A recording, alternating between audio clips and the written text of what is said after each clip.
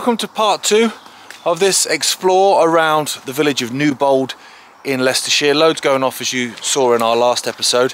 Still obviously with Phil Nikita and the man Let's Explore, Steve, who's got this amazing knowledge of this area. Um, now we're going to jump on the original railway, the Coleorton Railway, and that's going to take us through Newbold Tunnel all the way to New Lount Colliery where there is some, I think there's some track remains, aren't there, of the colliery? Yeah. Amazing. And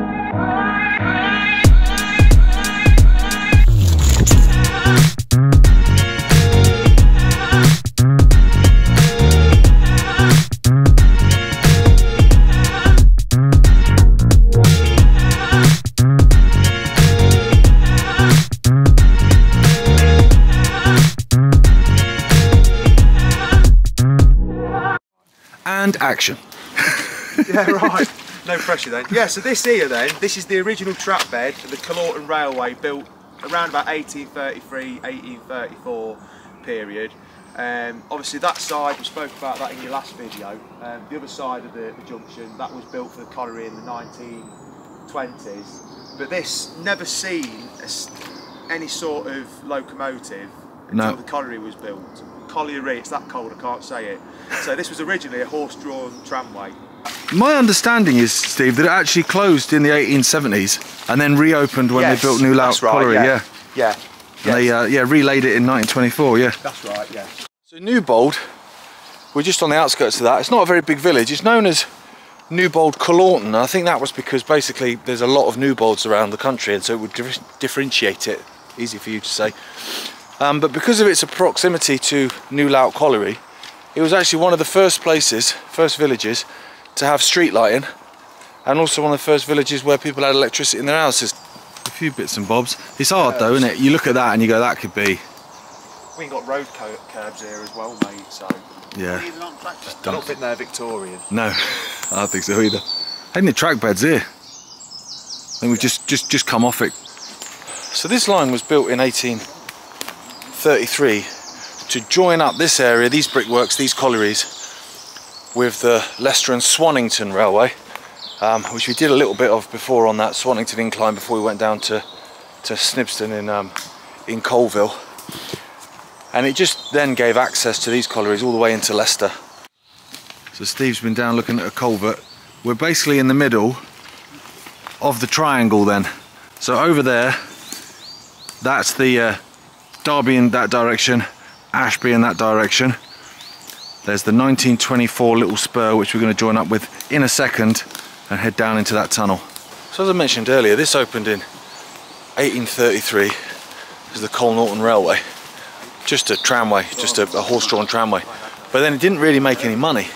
So it closed in the 1870s. But then when they sunk New Lount Pit, just round the corner from here, in 1924, they relayed a load of this. They just used the old track bed and relayed a load of standard gauge track to get that that coal, that black gold, out and onto that main Midland line, off up to Derby, down to Ashby, because by that point, I think the Swannington line had, uh, had uh, diminished as well. This is like Narnia, this now. But we're coming down to Newbold Tunnel, and it should just appear through that sunlight. It's kind of blinding me a bit. So basically, Steve was saying this was built kind of at the turn between, you know, canals and tramways, really. So it was actually built by canal builders. Um, so it's you know quite a quirky looking tunnel, and also it was only built for a tramway, for a horse-drawn tramway originally. So when they came and had to put the uh, the railway through it in 1924, it was a tight squeeze. Mate, yeah. where's my wellies? To be honest with you, it's not as bad as I thought. No, it's. I mean, yeah, but you could probably row. Th- yeah, you could probably row through that at the other end. What's going off over there? That end will be bad, Yeah. so we probably won't walk that cut in. Okay. Because we'll, we'll, I think we'll be struggling in wellies, to be honest. Really? And I don't think your free sock theory is going to come in. No, I don't think so either at that point. This is pretty cool though. I like how they've got their, their garden. You sit there with a Yeah. coffee in the morning out just above the tunnel. It's quite cool. Yeah. We don't like people exploring it either. Oh, okay. Well, maybe they won't invite us up for a coffee then. No. Jeez, Good news is, mate, you'll be able to go in here and walk walk down one side anyway. amazing. Look at this. I mean, that brickwork's seen better days, isn't it, Nikita? That side. Jeez. It is, yeah. Let's hope it's not like that inside. Yeah, so it does smell in here. It's not me or Phil. I'll just. Okay, I'll use the same excuse for me then. It's not me either. Look at that. You can see how thin it is though. To get a standard gauge train through here, Tight squeeze. a tight squeeze, yeah. It is like that one you're on about, what's it called? Thousand yard in less of this, almost same dimensions. Yeah. See what I mean, though, Gareth, about about the shape of it.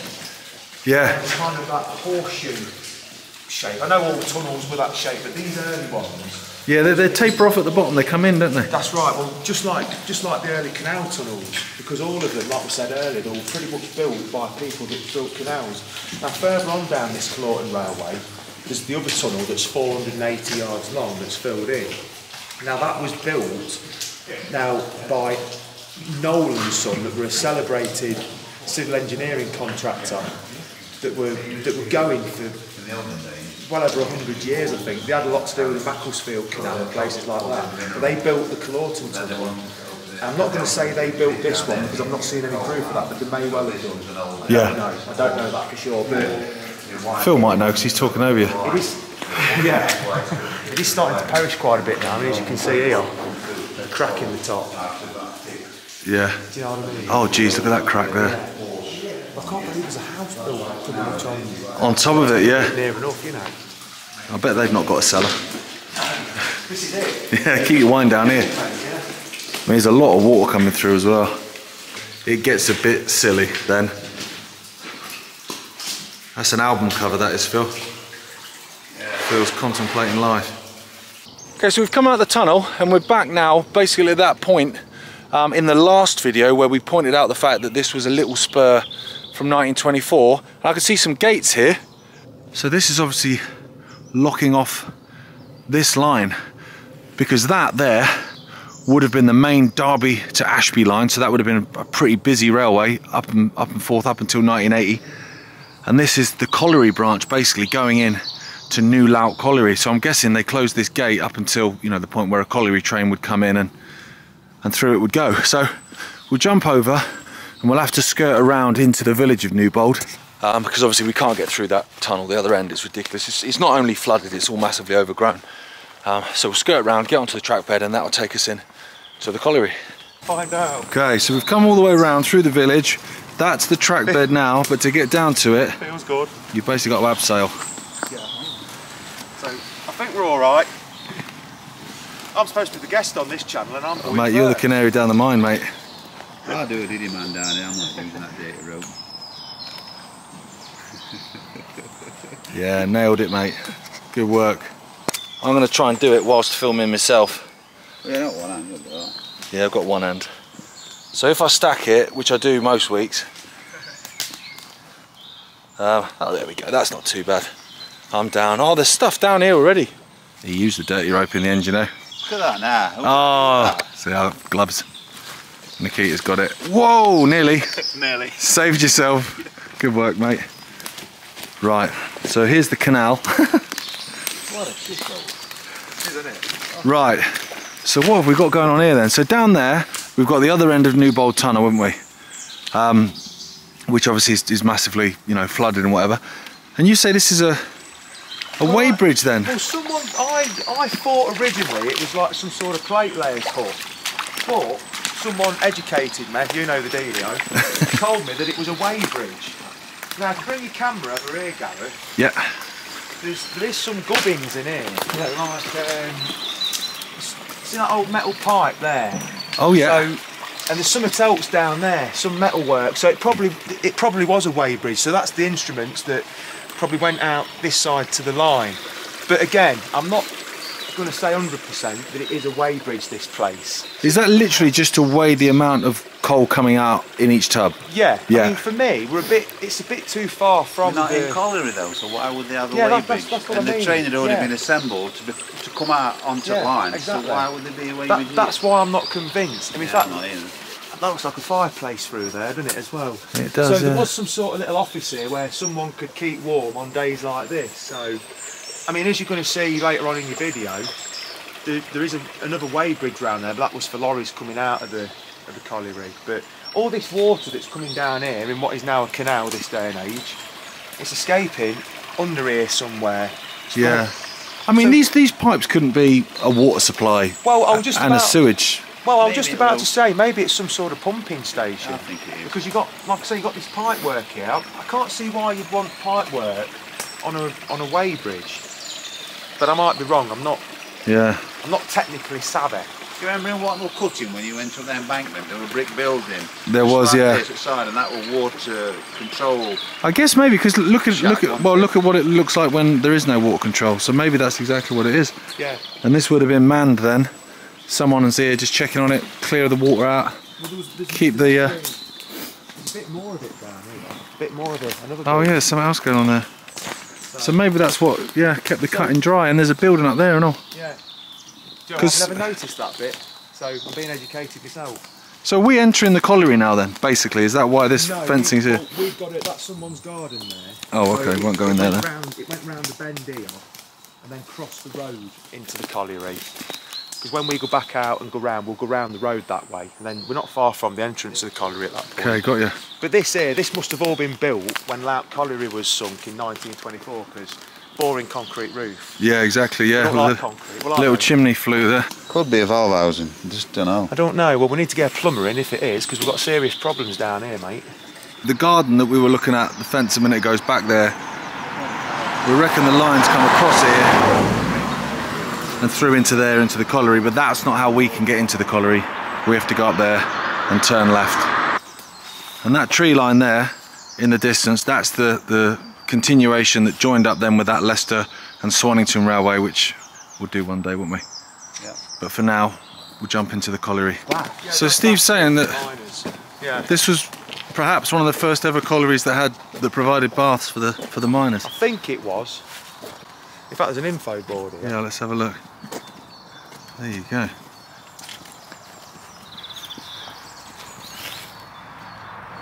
There he is, it's prom. That's not this one, is it? No, here we go. Pithead Bats, yeah. Yeah, so 1929, so they were first in the Leicestershire First in coalfield. Leicestershire, yeah. A cost of 15 grand. Well, a free then. There you go. We're walking around the site of New Lount Colliery, which was built in 1924, closed in 1968, and after it closed, they've they've basically just cleared it out a hell of a lot, and it's now a nature reserve, um, which is beautiful. It's lovely. You can hear obviously all the birds singing and stuff like that, and all the trees and stuff. It's lovely. Um, but we're obviously trying to find the industrial remains, of which there are a few. So we've seen um, the, the, the foundations there of the baths. Um, they were built in 1929. Um, but I think there's a way bridge, there's some track, there's a few little bits and bobs, but obviously as you can see from, from you know the location, it's, it's, it's, it's quite overgrown, so we'll try and blag it. Yeah, a whole row of trucks. So there was there trucks down here as well to load, or, or No, I think this was road. I this was road here. Okay. There's a line here, and you've, there's a picture with all trucks on. Pit tips are there, wouldn't they have been? I think there. So right, so the pit tips in that direction. This is the road then with with you know road trucks on it, and the rail trucks are on top of there. Some, um, yeah, so you can see here, Gareth. So it's wide enough for your standard gauge Yeah. anyway. Yeah. I didn't think this would be here. actually. Retaining I thought it wall either side. And they've even left us some nuggets, look. Oh yeah, there's a little bit of track there. Look at that. Nice track there. And on the other side, there's a bit here and all actually. I, I don't know why they're, I don't know why they're here, but. So there you go. Yeah, there's a little bit there as well. Lovely. Yeah, it's Birmingham. Look at that. So this is where then the wagons, road wagons come off. They weigh it. Go, yeah, you've got such amount of coal. Off you go, son. So this was a shared entrance. One track came across, another crossing, and this was vehicle access at this side. Hit Yeah. the wall then, straight on So the track, the track bed's down there from the map. So we're walking up now to basically the site of the colliery, and this was the platform that we were stood on there a second ago where it's unloading. So the tracks have come down. You're looking for some embedded track, aren't you, Phil? Well, it would have been nice, and I could have took Rip past Steve for not seeing him in past. And so it came down and across. And so this whole area, which is now, you know, beautiful, back to nature, was just sheer, wow, massive industry, colliery, loads going off. So these were the sidings, Steve. These were the sidings. Yeah. So that, that map we've just looked at, so like you've just pointed out, there's one little single track that comes off all this and goes onto that bank over there that you've just been filming. Because originally I didn't know what that was for over there until not so long back actually. Yeah, this was a big siding yard. Well, why would siding Wow. embedded concrete? You know, concrete to me is if there was some structure in it. I really don't know why, but they are definitely standard gauge because I've been that sad. they I've got, that. I got my tape measure out and measured them one day. That's amazing though. From from 1968, you don't tend to find rail remains, do you? No, well usually, I mean there's good value in them, scrap value, because they're heavy and good weight. They rip them up usually, but maybe it was just a pain in the backside for them. Yeah, they're 'cause it's in the concrete, yeah. Concrete. Over here somewhere, we, we, will, we will find, there's, there's some little narrow gauge ones as well, so I don't know if they were if they were push shunting around the yard or they had some sort of little mini diesel locomotive. I, I really don't know. But this is the main Yeah. the main attraction for it, like, you know. There's four here, look. There's another one here. Amazing. Yeah, there was a lot. Well, like you've seen on that map back there, it was quite a big, a big spread out area, wasn't it? It's amazing. You don't, you really don't tend to get track remains from from something that went so long ago. Because when you like siding, you just put them on paper, don't you? Has it got a name on the brick? No. No. I found one buggy here with your name on it. So coming away from those track remains, there's there's red brick remains there, and a reed bed. So I'm assuming that's going to be squelchy. Um, so let's walk around, try and find those narrow gauge lines, then, shall we? So here we go. So we've got standard gauge. You've got a buffer there. That's it, yeah, buffers here, That's mate. the buffer, that's facing. Yeah. Hold on a minute, that's facing that way though, isn't it? Yeah, it is, this is the end of the here. So, and then and then you've got these narrow gauge lines coming here look round the circle there look yeah so this is this is loading then I think maybe from the narrow gauge that's come out of the ground then onto the standard gauge there's another one over the other side there and then Bosch straight out onto the main line eventually Mate, there's loads going off here so, so basically, then the colliery site, I guess, then is in the trees, isn't it? And this is Yeah, just pretty skirts at the edge of them. Yeah, yeah, pretty much, mate. amazing. go there. So, go, yeah, so you'll see it up here. So Don't if go we- anywhere. Oh, here we go. So that narrow gauge line splits underneath the BMX track, and one goes down there, and one goes down there. But so much of this has been re-landscaped, though. It's, it's probably hard to tell. It seems to just go around a corner at the end. Let's get to the end and see where that goes. I'm proper chuffed with these remains, you know, because I was not expecting. You know, when you come to old colliery sites that are now nature reserves, they're beautiful. Don't get me wrong, but you never have any like rail remains at all. Uh, well, you know, hardly ever at least. There you go. Like, come, oh, mate, where a narrow gauge goes across a standard gauge. That is awesome. Do you know what's cool though, Phil? You know, like the groove in it they've cut out so to now allow the wheels of the, the narrow gauge to carry on for a wheel. Or. Yeah, that'll be more than a clickety clack on that. So this is it's like a loop, isn't it? This narrow. I don't know why. I don't know what. I can't even tell you why it's here, but it's really. I'm glad it is. It's cool. Yeah, well, I've never seen it like that before. And this is what it was like underground. Oh, mate, rather them than me. Yeah, any day of the week. Yeah. So 1963. I've never seen something So the tubs come up. So this is the area that we were looking at there where they were all embedded. And then it stops for a bit. I'm guessing where this building is. And then this is where we've come round here where you've got these narrow gauge that run around the standard gauge. And that then, the standard gauge will go to a head shunt down there then. So we think these are the pit tips that you can see from some of those old photos. Obviously there's big, huge pit tips that look like dead imposing. See now it's, it's part of this beautiful nature reserve. Some incredible finds. It's great to get out on the road with Les Explore as well because I've been watching obviously loads of his videos. Um, they've gone up to try and find the pit head, so where the where the old shafts were. Um, I was faffing about with the drone, so now I've got to find them. But hopefully, um, they've not abandoned me and gone home. So these are parts of the the pit tip. You can tell, look, the black. Um, I just don't know where they've gone. There we go, mate. You've kicked that away, haven't you, as well? Yeah, yeah. I might as well put my size 12 to good use. Yeah. So this is the mine shaft then. Wow. It's from the our end, look, Steve, look, Stanton Steve, it works. Yeah, yeah. Cap.